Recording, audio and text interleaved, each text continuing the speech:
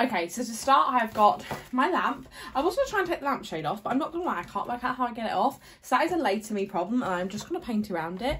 Probably not the best idea, but I know I'm not going to keep this lampshade on anyway. In fact, I might actually ask my mum to help me take this off. Because once this is off, I'll decorate this separately. Um, but what I'm going to do is I'm going to mix up some acrylic paint. This is just from um, Poundland. And you get a set of like, quite neutral colours. So I'll probably use a mixture of this yellow, brown and white to get kind of a neutrally colour.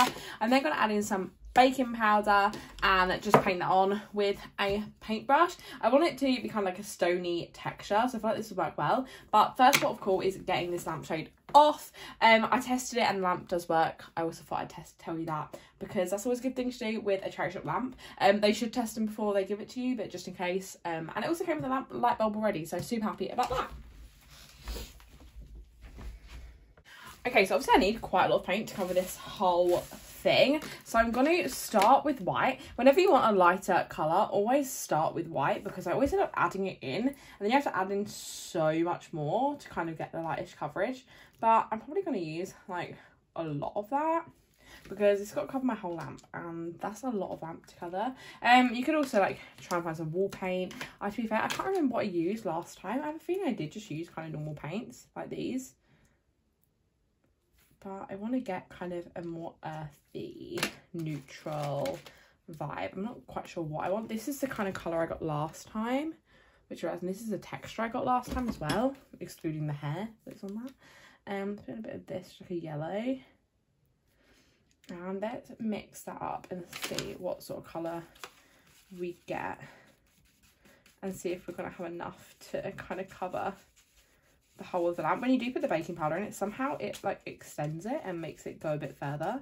Um, I think I am going to add in a bit more white. I will end up using probably most of this white. As I said, this was set as a pound from Poundland, so I don't really mind if I use up most of it. And I was thinking I get a white in. I got a pack of like primary colours and I'm feeling a white's in there as well. Um, so I do have a spare white. I just don't want it to be too pinky, which is not coming up super pinky, which is good. Um, I think that's quite a good colour. So now I'm just going to literally just chuck in a bit of this. I'm not quite sure how much I meant to put in. Um, also, I'm not sure if it's meant to be baking powder or whatever, but I'm going to put a bit of baking powder because I feel like anything that's like gritty will just give it a bit of texture. Oh, and it is. It is sort of bubbling up, which is what you want and sort of just giving it a kind of different texture. This also just help it adhese to such a kind of matte surface. Um, but yeah, let's just start painting it on and see how we go.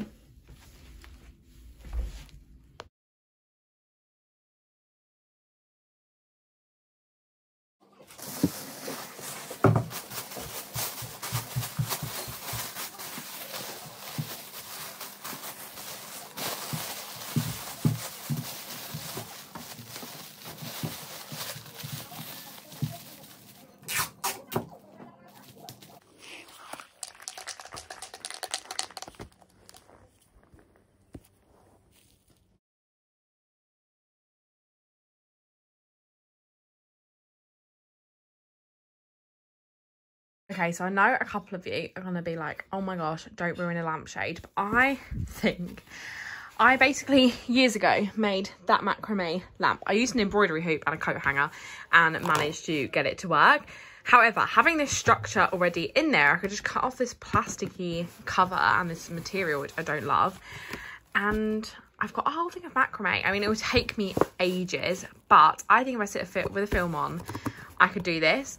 I will make up the macrame pattern as I go. I'm thinking I might literally just do a couple of rows of square knots and then just do like tassels down. I'm not sure, but I think I'm just gonna go for it. It cost me £3.50 this whole lamp, I think. So I'm just gonna cut it off and start putting the macrame around it and then I can decide later on what I'm gonna do.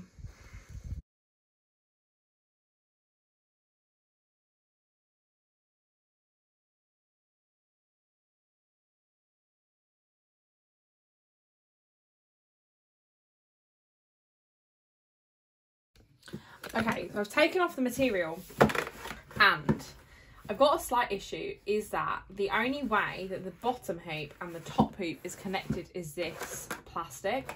So I have made a bit of a cut in it to get this material off. However, if I take off this plastic, I'm going to have the same problem is I'm not going to have a bottom rung.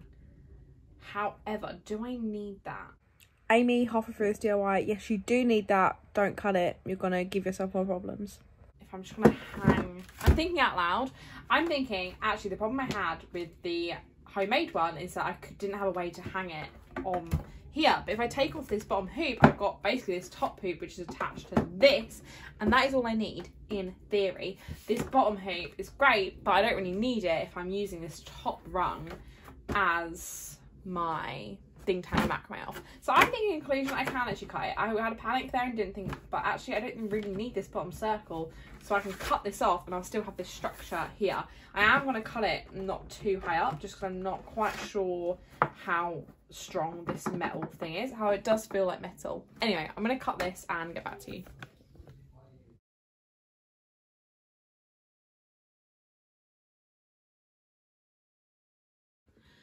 Okay, so now I have my base of my lamp, or the top rung of my lamp. So I suppose the top of my lamp, not the base of my lamp. I can now start attaching my macrame. Now you always need a ton more than you think in length. So I'm just gonna get out loads and yes, it might look like a waste, but I promise you once you start knotting, you will use it. So I just wanna see how far. So I feel like like that is long enough. So that's one, two, three, four, five, six, seven times the length of what I'm going to need. I feel like, is that excessive? Maybe. But I'm really not sure. I've been a long time since done macrame, but then obviously you fold it. So that will cut out half the length. Oh, okay, maybe I need it to be even longer. I forgot about the folding. So basically to attach a macrame cord, you basically fold it in half, flip it over like that and pull it through. Now you can do that either which way, um, either over or under, but essentially that is it. I think though that is enough cord. That is about probably triple the length I'd want it, maybe even four times the length. So I think that's what I'm going to go for. Um, however, you need one to go off of. So I'm going to take this off, but that was just to show you guys how you do it.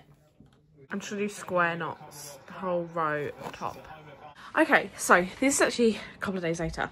The other day, I did two rows of square knots like you saw me doing.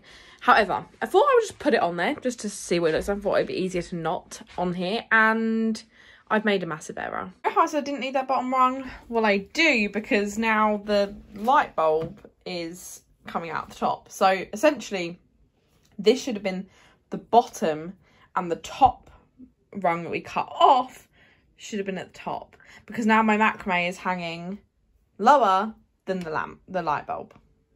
And to be fair, that's not even as low as it's meant to go. It's actually meant to sit there, which would mean that the the macrame will be covering the whole of the bottom of the lamp. So I've made a big mistake here.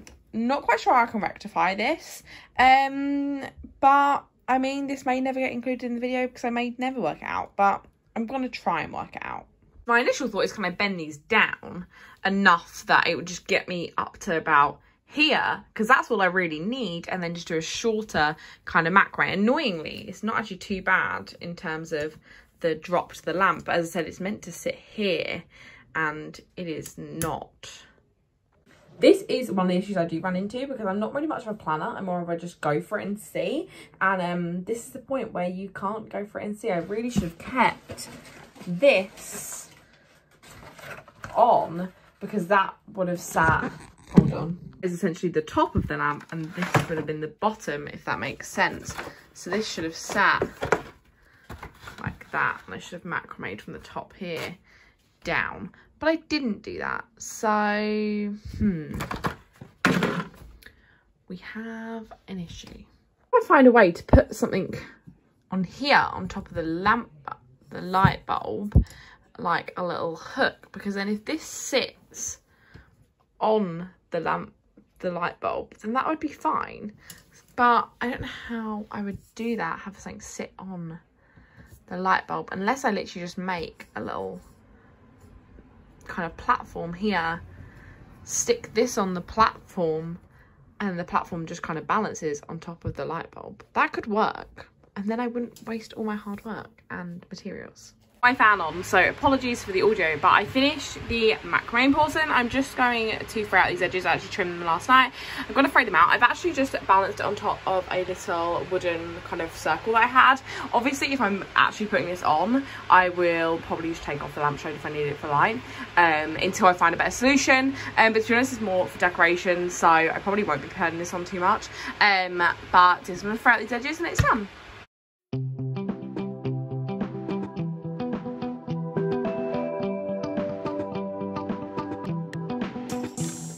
next DIY, I'm just using that paint that I had originally um, for, that I was going to use for the lamp. I'm actually just going to paint these little dinosaur friends that I got in the charity shop for like a pound. Um, I thought they were really cute, but I didn't like all of the different kind of shades on them. I just wanted them to all be one colour. So I'm going to use this paint that I originally was going to use for my lamp, but ended up using it different for my lamp. I'm going to use this to paint my little dinosaur friends. I think they're really cute. So I'm just gonna get painting these with my my baking soda, my baking powder and paint mix. So to dry our little dinosaur friend a little bit faster, I'm actually gonna get my hair dryer and try and dry him like that and see if it works, same as a heat gun. Not quite sure if it will, but we're gonna try it um, on kind of a medium-ish setting and hopefully it just dries it a little bit quicker so I can get coats on my little dinosaur friends a little bit sooner. But I feel like it's gonna look super cute, a bit ceramic-y, a bit nice and just like a funky texture on a little dinosaur friend.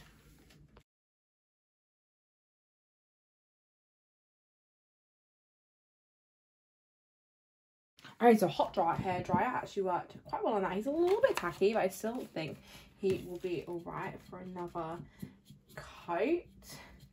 I just think giving this like an all over rougher texture will just make it look a bit more funky. And who doesn't want a funky little spiky dinosaur with in a cute neutral colour? I just think that this will look really cute. I'm really tempted to actually attach this to two wooden blocks that I will um screw together and use it as like a bookend. I think that would look so cute.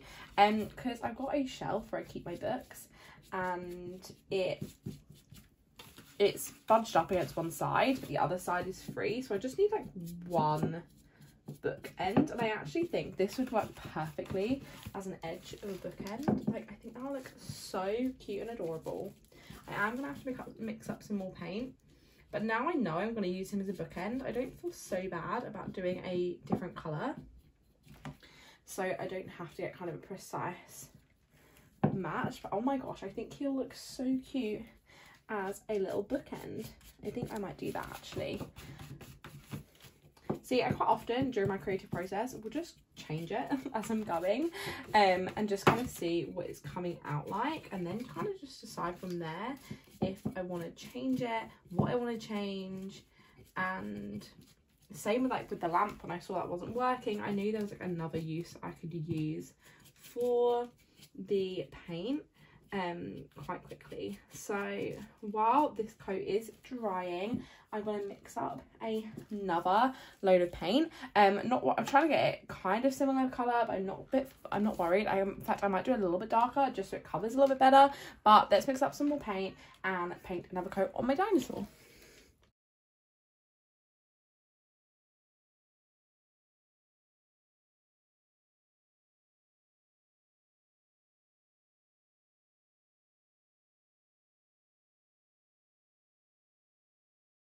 scrap like a wood. I'm just going to cut it down the middle. I've not done a very central line, but we're going to try it anyway. Okay, so with some help from mum and dad, um, these are sawed into two halves. So I'm just going to work out what way I want it. I feel like that one's the best one to be upwards. And then that one can be down with kind of the attractive face facing forwards. If I screw them in like that. I'm going to file down this side down there, but I thought that would look really good. Obviously you could use light screws, nails, wood glue. I can only find super glue and some clamps. So I've just clamped it like that. We'll leave it overnight and hope it sticks. Um, I put some on the edge of the wood and then I also put a strip there. Obviously we've got a little, little screw here which we'll find a way to cover. Um, but that's how I'm going to leave it for tonight I think. I'm going to glue on my little dinosaur. I'm just going to glue him on to my bookends.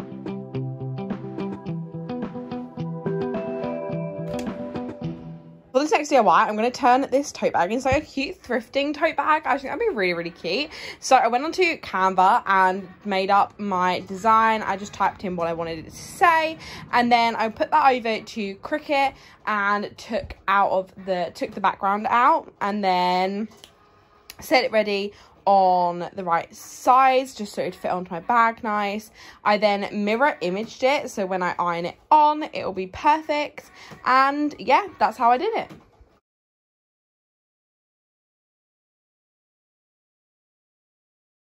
So like I do for all of my Cricut DIYs, I'm just going to take out anything that I don't want to be ironed on.